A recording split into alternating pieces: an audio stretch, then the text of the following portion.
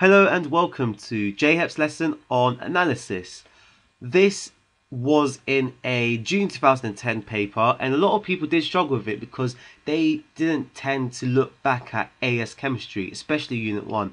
So let's have a look at it. Compound A is an orange ionic compound of chromium. So the first clue that we've got here is that it contains chromium with the percentage composition by mass of these percentage. Compound A does not have water crystallization. Then we have all this over here. Let's forget that because we're not going to go into that so far.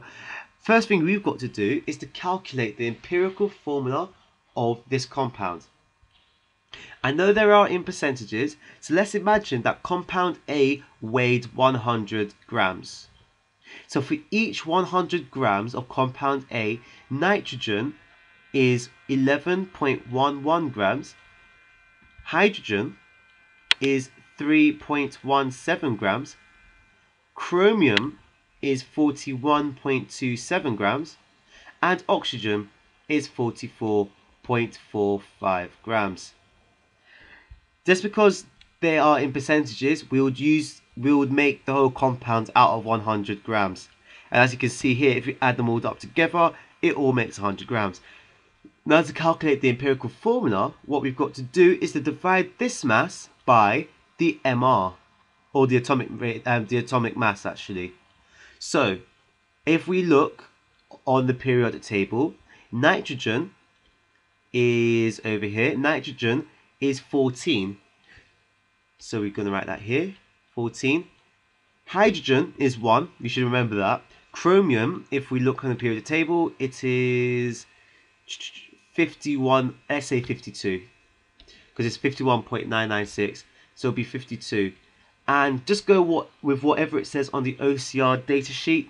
Obviously, I'm using ptable.com, so it's going to be more accurate. But oxygen is obviously 16. So if we divide them, if we divide them each by turn, we would get uh, 0.793 to 3.17 to 0.794 to 2.78. Okay, so what I've done here, I've divided 11.11 by 14 to make this, 3.17 by 1 to make that, 41.27 divided by 52 to make that, and so on. So we've got all these ratios now, but these are really unfriendly numbers. So what we need to do, we need to make one of them 1. We need we need the smallest number to basically be 1. And what we do, we look at the smallest number and we divide by it. We divide all of it by the smallest number.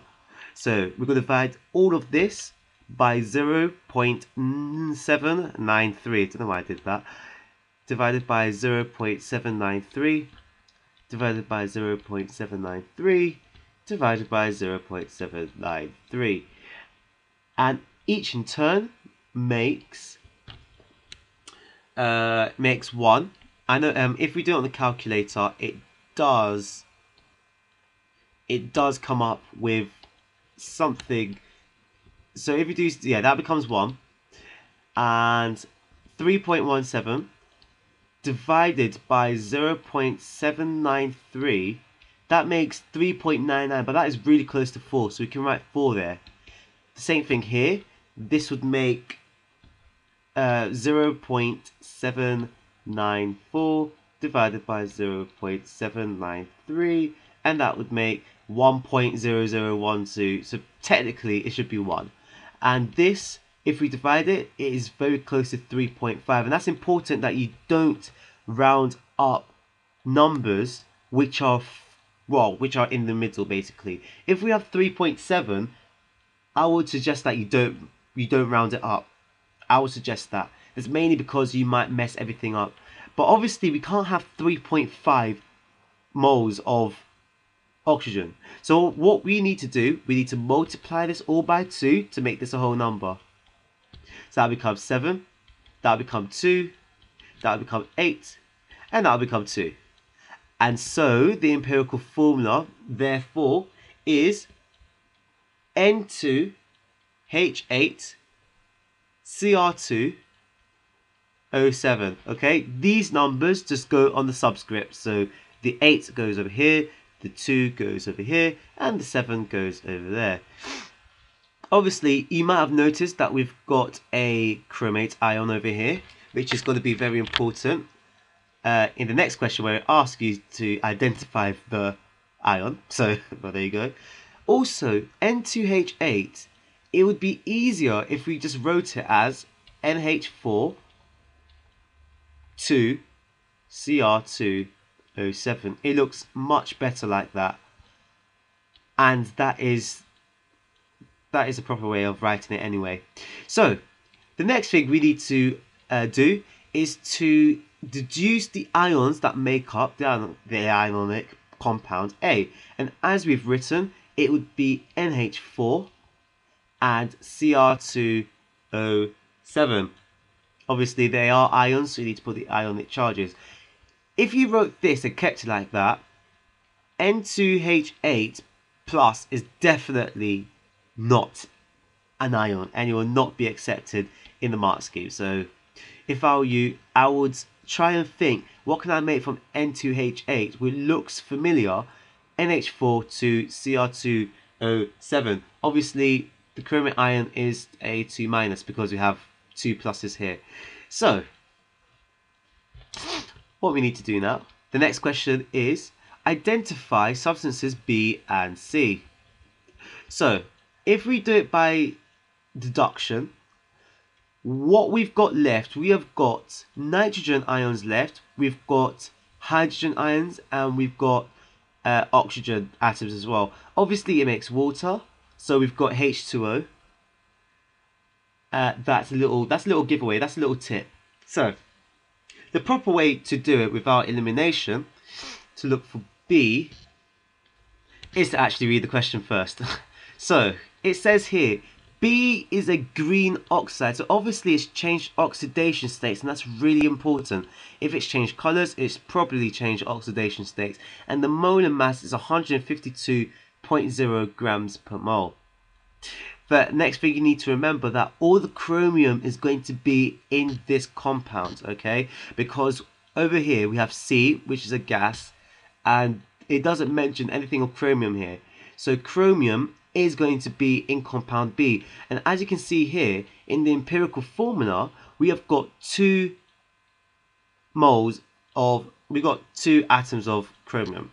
So, bearing that in mind, we need to find the MR of Cr2. And the MR of Cr2 is, where is it? Where is it? Cr, there we go, which is 52 Okay, it's 51.999, but it'll be 52, and we times that by 2 to make 104.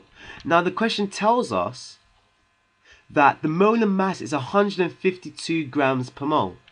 So obviously, what we've got left is 152 minus 104 to make 48. Now, the other clue, it says that it is an oxide. So obviously it's going to contain oxygen atoms. Now how many oxygen atoms can we have which will have the MR of 48?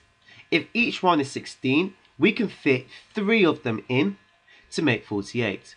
So therefore, this would be, compound B would be Cr2O3. And just to double check that the ions are correct, Cr2 would be uh, would have an oxidation state of plus 3 okay because it's now green. So if it has an oxidation state of plus 3 two of these chromiums will be plus 6 and obviously oxygen's 2 minus there's three of them that'll be minus 6 so this is neutral. We're fine here. So that is the second one. And the third one is a bit tricky actually. The third one took took a lot of thinking about. But it tells us that for each decimeter cube we have 1.17 of it. So if you think about it, for every decimeter cubed, we have 1.17 grams of this compound C. Now, you need to ask the question, you need to refer back to AS chemistry. How many decimeters cubed do we need to fill up one mole to make one mole. Okay, and you on you you might be thinking, huh, what's that got to do with anything? But if you remember the equation, n equals v over 24, what we need to do is, forget about that, don't need to worry about that so far, but we need to find out how many grams there are in 24 decimeter cubed. Because in every 24 decimeters cubed, that would make one mole. And you do need if yeah just go back over your AS chemistry. So we need to times this by 24 and that would make 28 I think 28.08 hold on I'm going to just double check that.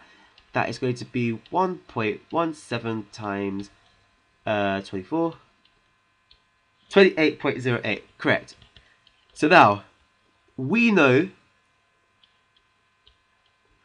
for every mole of this compound, we have 28.08 grams. So we have 28.08 grams for every mole we have. And obviously, this is the atomic mass. If you think about it, okay? You think about it because this this is this is a pretty difficult concept to come by. But if we if I say if you remember it, one mole of gas occupies 24 decimeters cubed at room temperature and pressure. And the question told us for every decimeter cubed we have 1.17. So for every one decimeter cubed we have 1.17. So for every 24 decimeters cubed we have this mass over here. And this mass is for every mole that we have. So, if we look on the periodic table, well, we don't even need to look at the periodic table. If we do, if we do by elimination, we know that we have water. We know that we have the chromium ions. I know it's a bit messy, but the only things that we've got left is nitrogen. and so, well, therefore it just has to be nitrogen. So it's going to be n2 basically because if you think about it 14 times 2 because 14 is here over here 14 times 2 that makes 28 and that's a fitting description of compound C. So the last thing we've got to do is just to tidy it up and to write everything down neatly.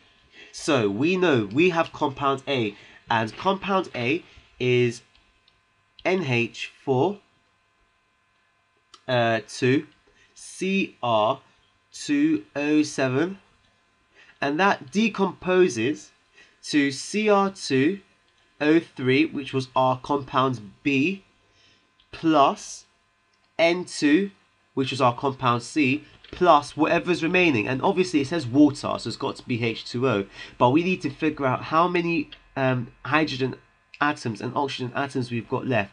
So we've got eight hydrogen atoms. So obviously it, it technically should just be four. But let's just double check. We have three, we have four, which makes seven. And obviously we've got seven here. So that means this is all balanced. If you have any questions, please don't hesitate to comment before my Tuesday exam. If you comment after that, I might not do it. But yes, but there you go. That is it.